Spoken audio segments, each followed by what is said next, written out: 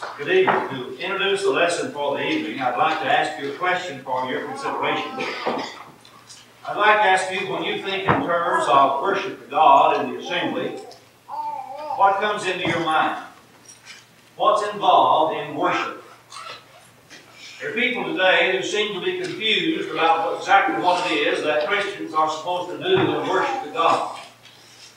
On the one hand, there are those who seem to want something new and something different all the time. On the other hand, there are those who seem to want to hold to only certain things and not even consider anything else. And uh, we're caught somewhat in the middle of that. There are, I suppose, the lunatic fringes on either side. I remember reading in the Dallas paper of a Unitarian church in Dallas who had a strip teaser and a belly dancer come because that was going to be her praise to God. That was going to be her part of their worship service. She did a belly dance as part of the worship of that church. Now, what's your reaction to that? Think that's somewhat extreme, or do you think, well, that's just using her talents?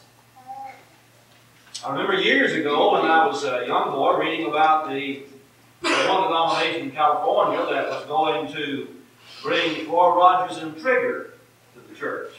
Now, I don't know how they got Trigger in the church building, but they were going to get Trigger along with Roy Rogers and Dale Evans into the church building, and their worship was going to center around these Hollywood stars.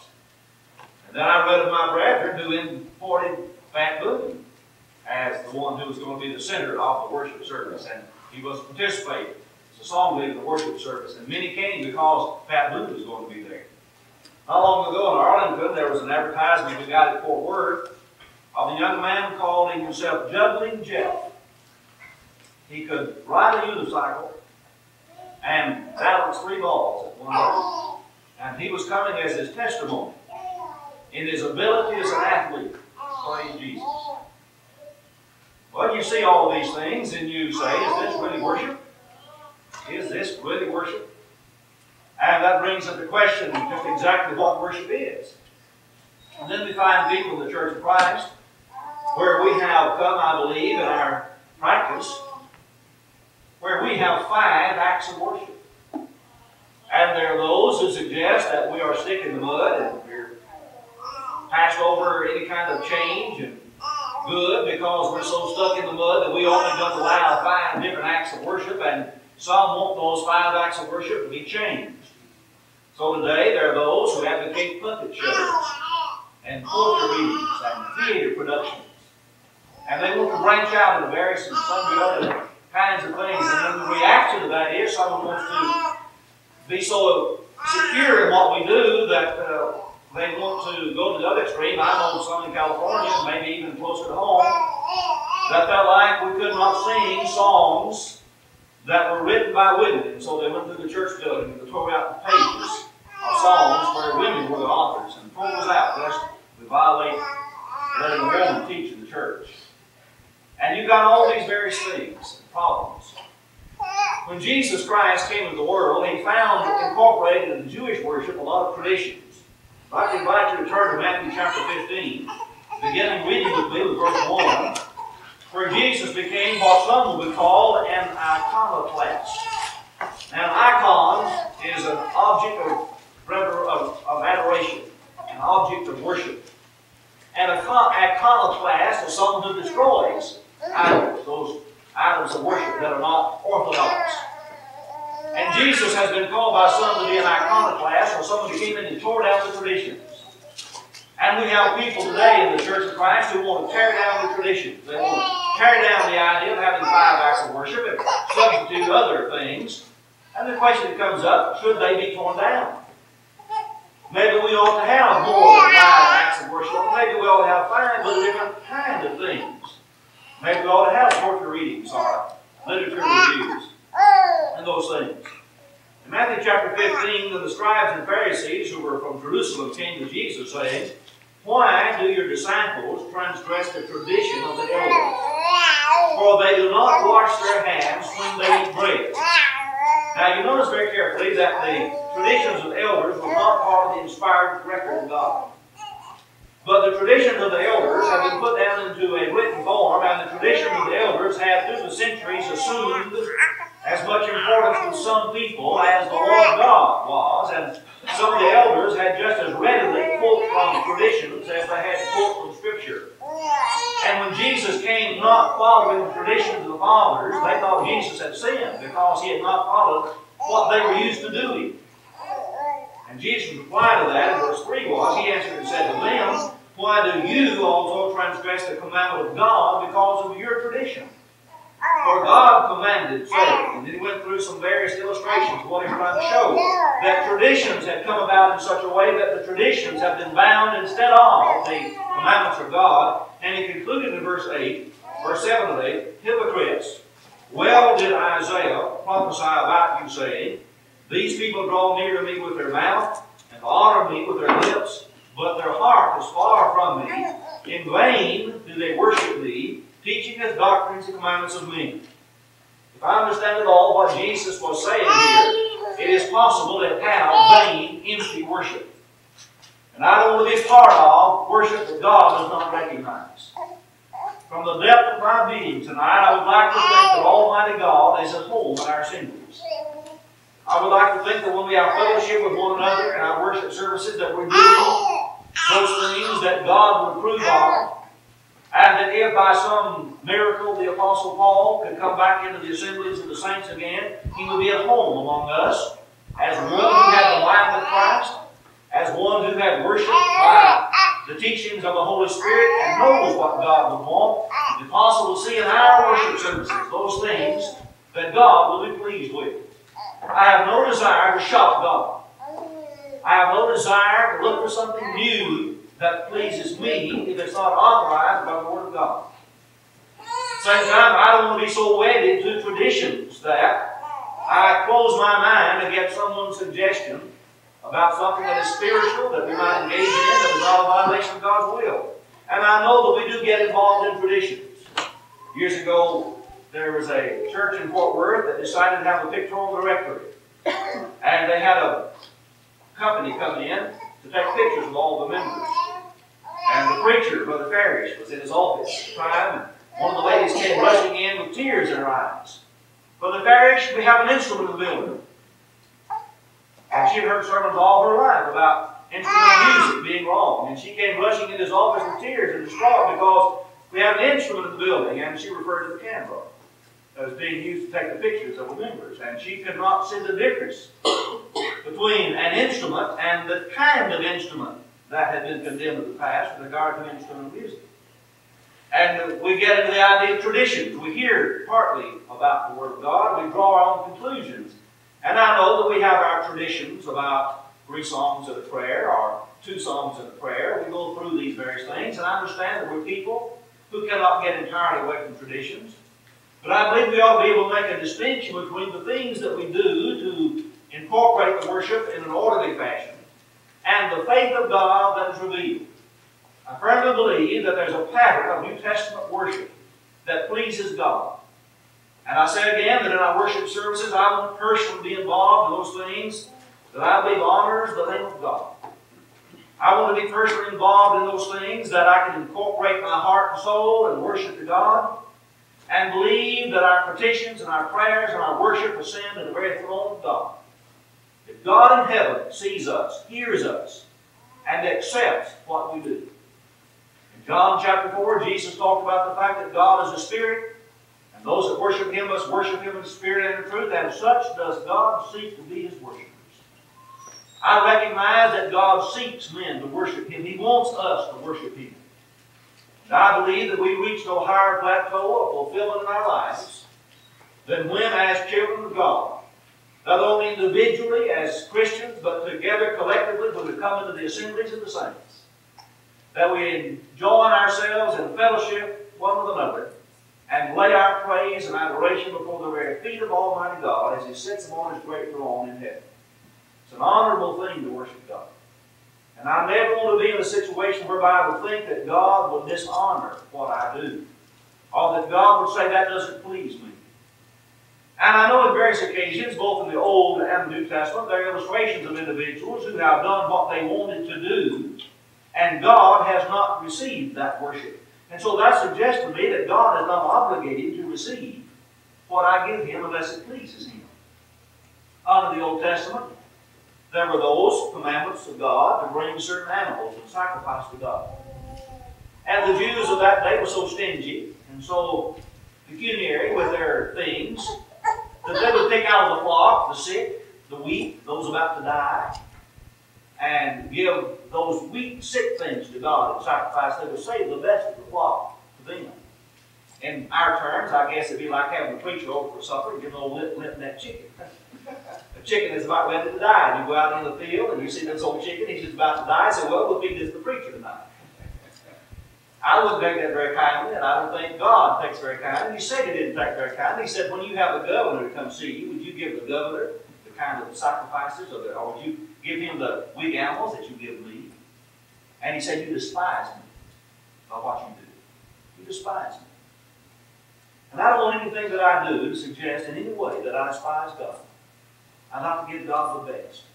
I've always preached and taught in my life that the search for a Christian is the search for excellence.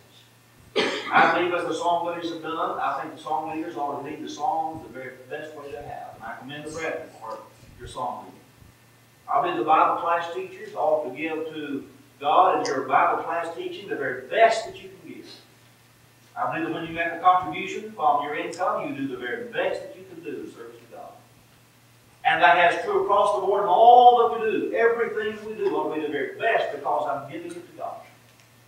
I hate the picnic atmosphere that is crept into churches, where, where we seem to sort of bring to God uh, the attitude I've been out on a picnic and I'm going to suddenly stop that and give that to God. And I believe we want to give God the very best that we have. I'm not suggesting we have to have a cold and a tie to always serve God. But I am saying that it's an attitude of heart all the way we try to give God the best that we can. Let's the application to the idea of worship. Exactly what is it that God wants us to do in our worship? First of all, whatever it is that we do, we ought to give God the very best that we can. I don't believe in giving God leftovers. I don't believe in God giving God the scraps of our time, the scraps of anything. When it comes down to God's part of my life, it ought to be the top most part.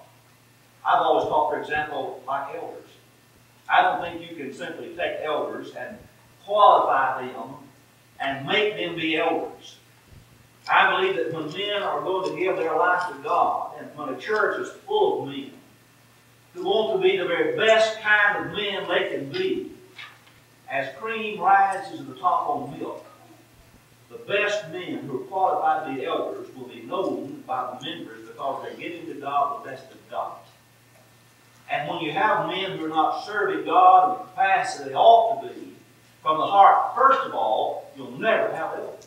You can't just make elders because you need elders. You've got to have men who give God the best of God. That's true of worship.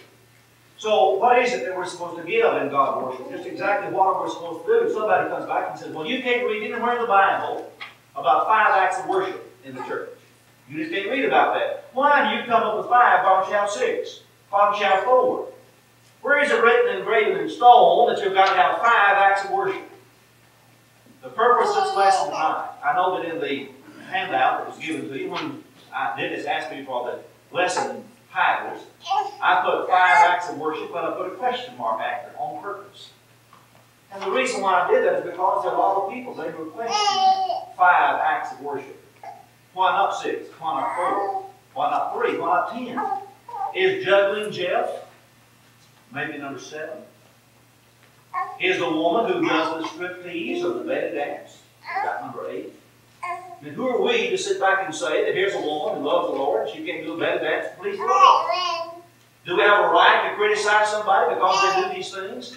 Or did God deliver to us what He wants us to do?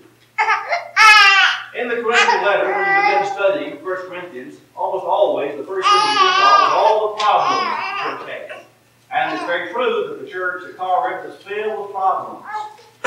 what many times we don't do is recognize that the problems of the Corinthian church were answered. And when you look at the inspired testimony of the Apostle Paul and begin to recognize that he wrote to the church because of their problems and gave to them the answers, the thing to do is to recognize that when you strip away the problems and get down to the bedrock of the truth that was supplied to that church, they have what God wanted them to be. I believe that New Testament Christianity was exactly what God wanted it to be. Now, not the abuses, not the problems. The human element crept into the church at Corinth. When the church at Corinth was established by the preaching of the gospel through the mouth of the Apostle Paul, the result of that church was exactly what God wanted it to be. Now, jealousy crept in, division crept in, men calling themselves after the name of men crept in, and problems began to arise. But when those problems were corrected and brought back to the bedrock of what the gospel ordained them to be when they were established, you have the New Testament church exactly the way that God wanted it to be. Now, when I want to belong to the New Testament church, I have no interest in belonging to a denomination. I have no interest in furthering the cause of a denomination started by men. I to belong to the church that the Apostle Paul belonged to.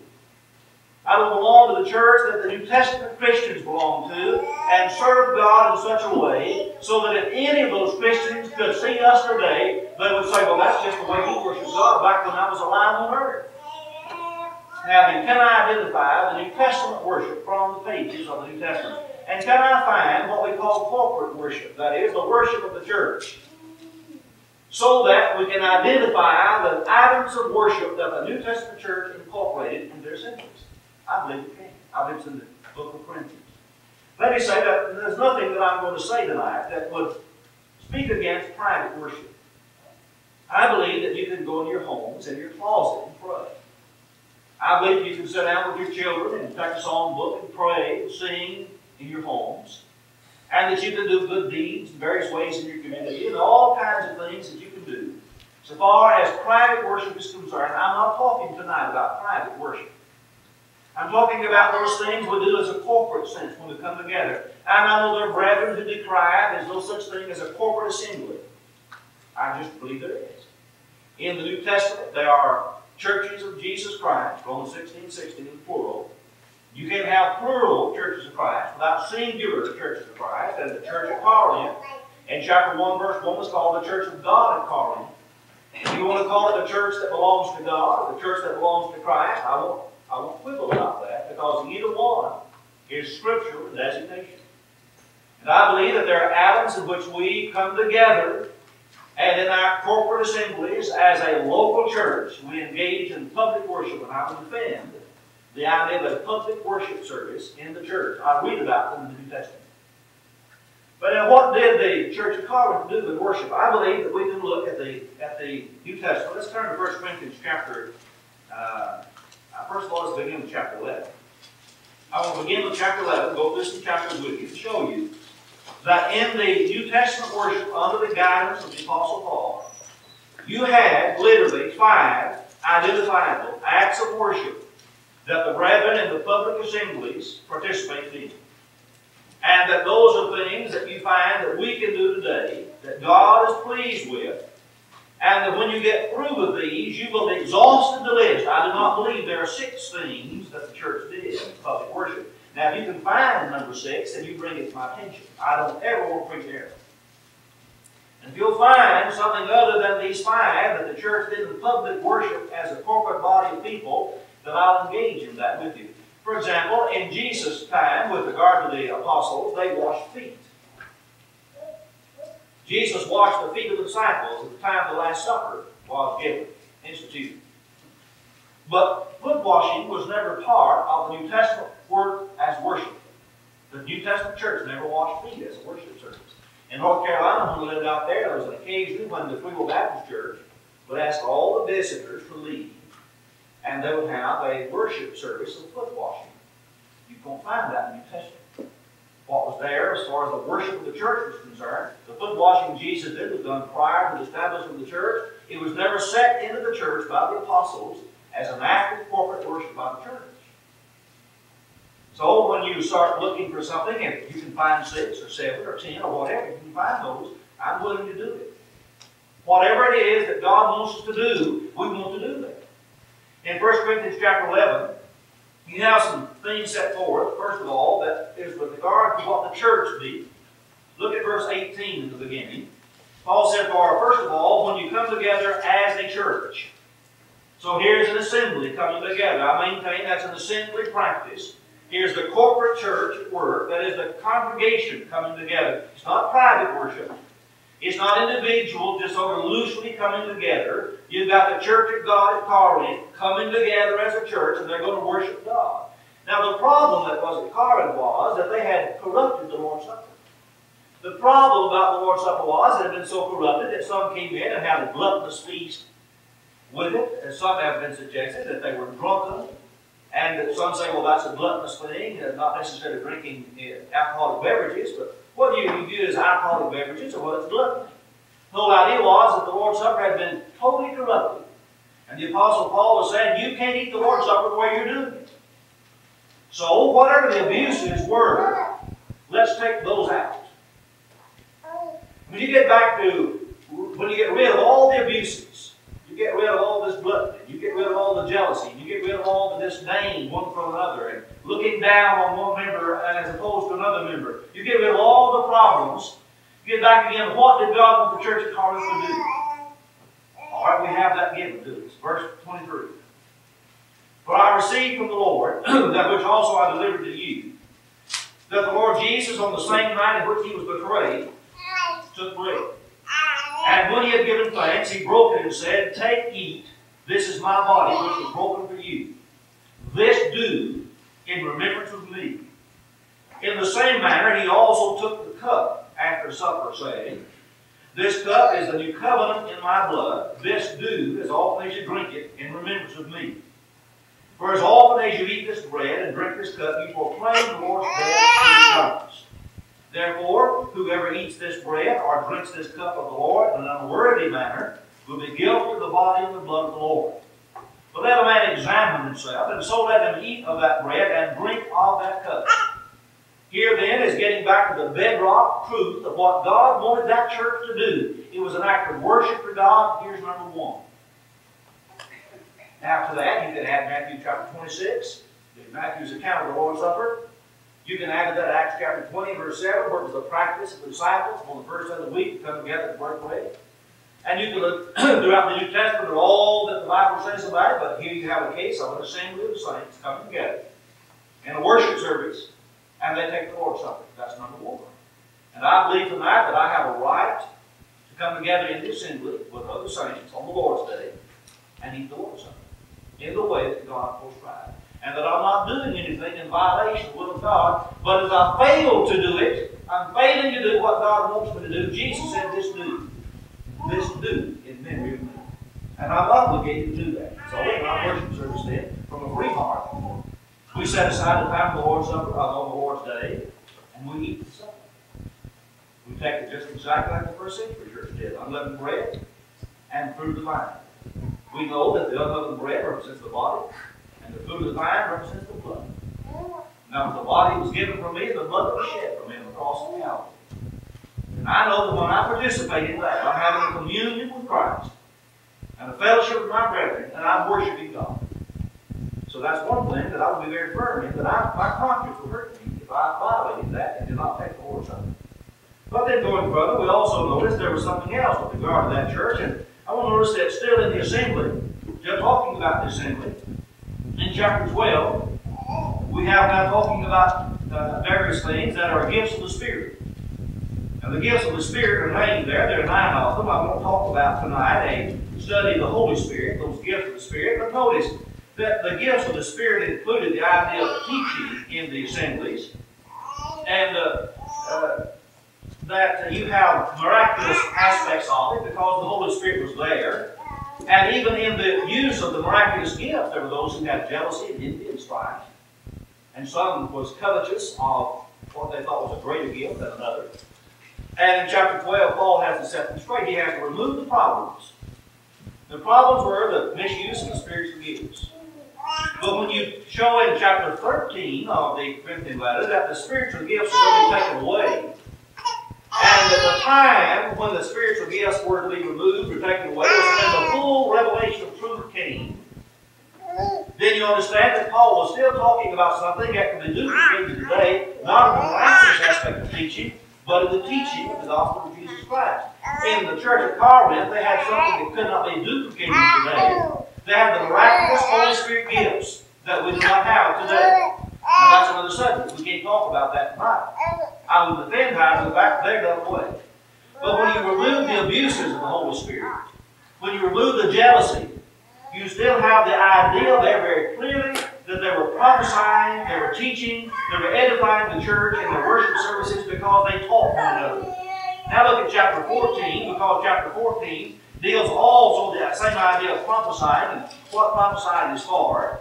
In chapter 14, verse 12, Paul says, Even so, since you are zealous for spiritual gifts, let it be for the edification of the church that you seek to excel. So we're talking about now something for the church. The assembly is still under consideration after chapter 12, chapter 11, 12, and 13, and 14.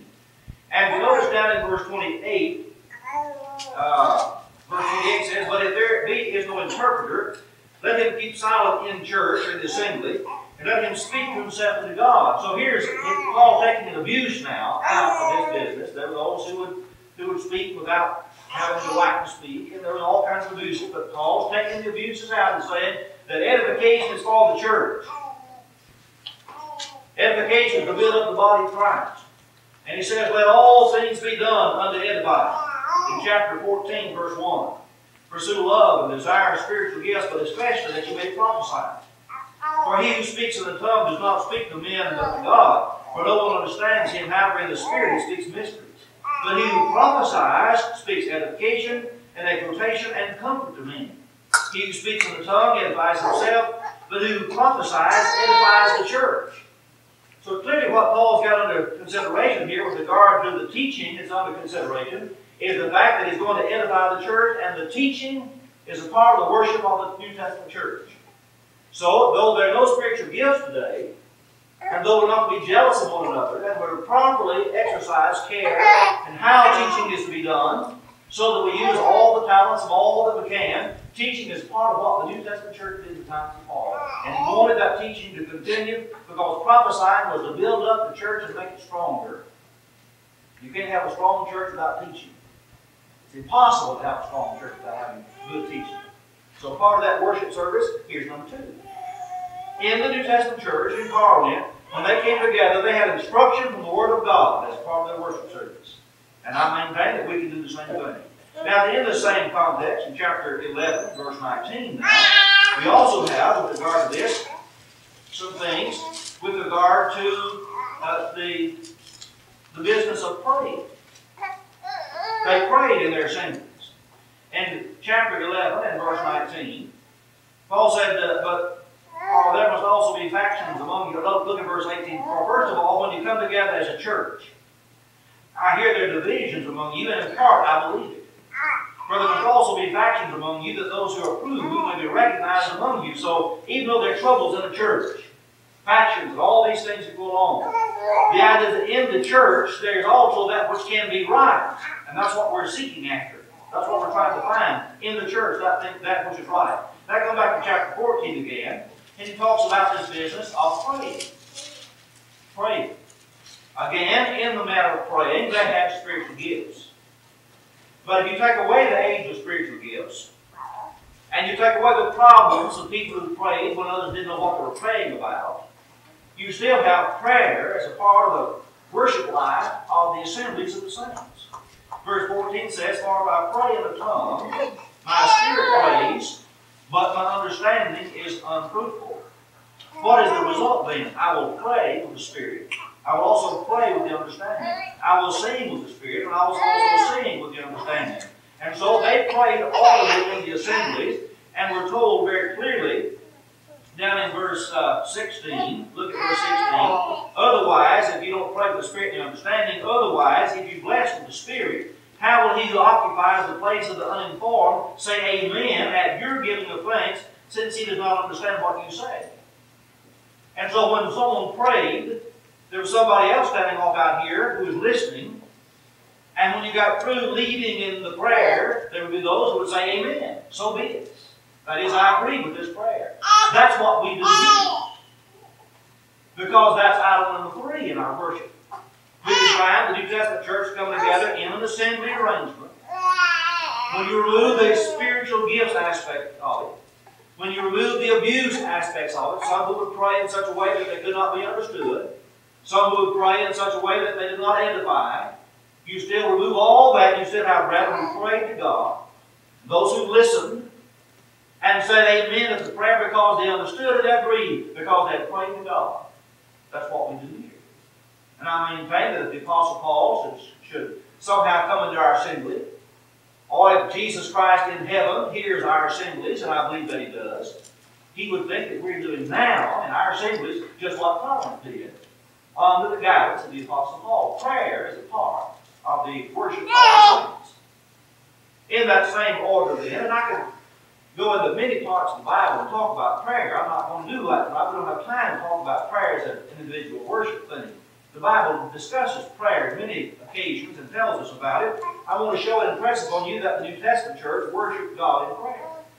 Now, we also notice in chapter 14 and verse 15 that they sang together. He said, I will pray with the Spirit. I will pray with the understanding. I will sing with the Spirit. And I will sing with the understanding. New Testament Christians will sing people. Now, I don't know exactly what form their songs took in every essence, but I do know from Ephesians 5 and verse 19 that they sang, they sang in psalms and hymns and spiritual songs.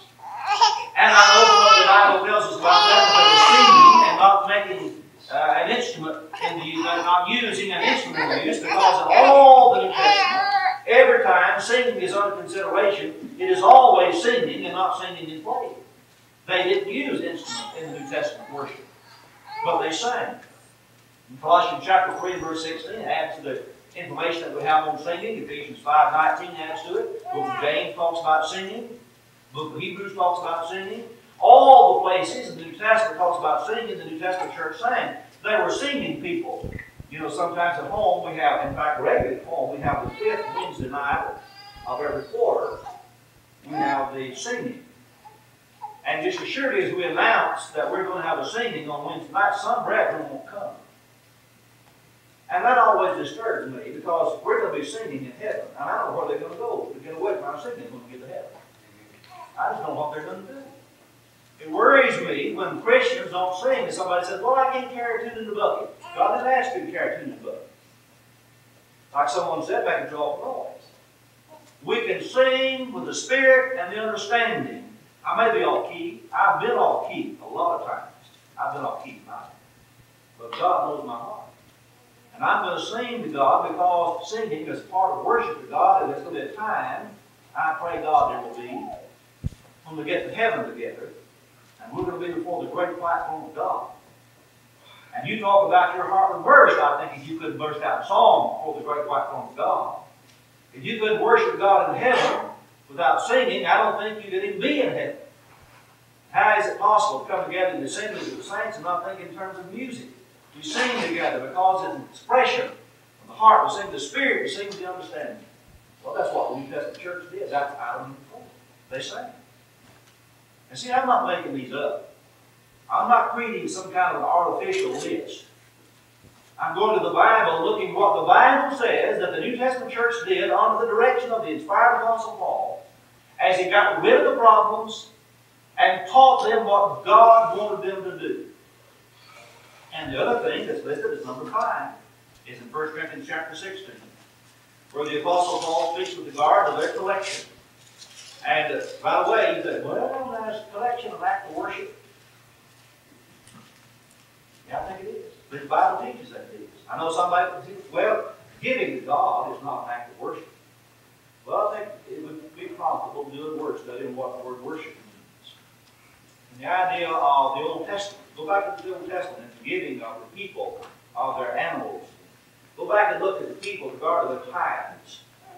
And how God regarded those tithes. And how God regarded those old that chickens. And sick animals that God, that the Jews gave.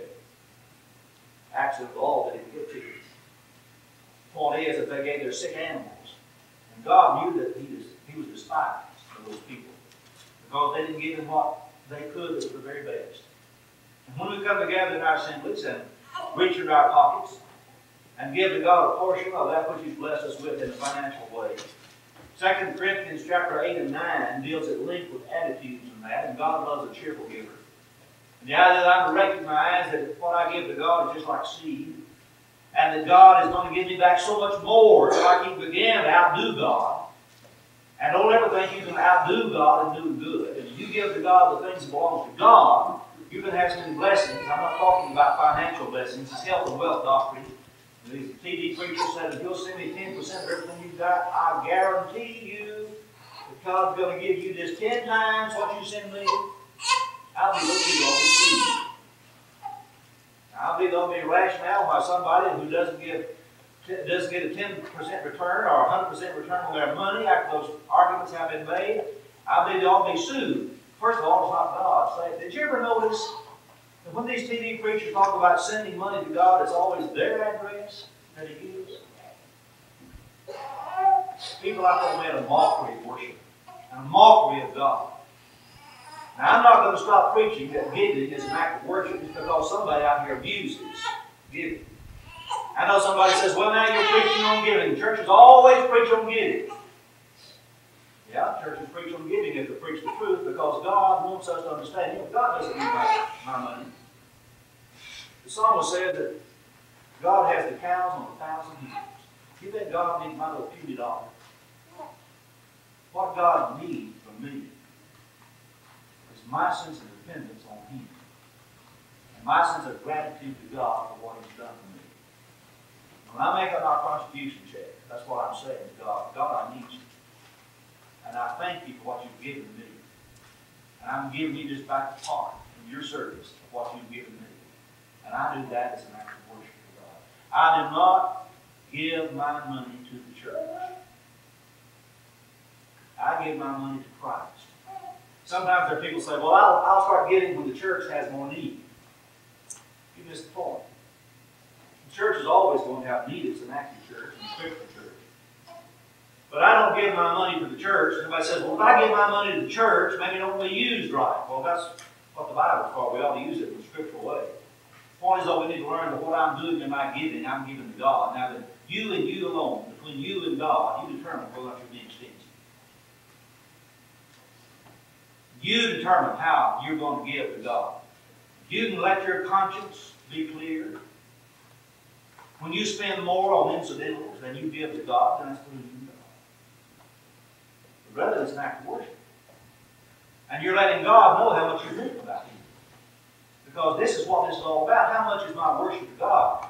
When it comes down to uh, various things, I don't want my life to be considered by God that I just let give Him leftovers.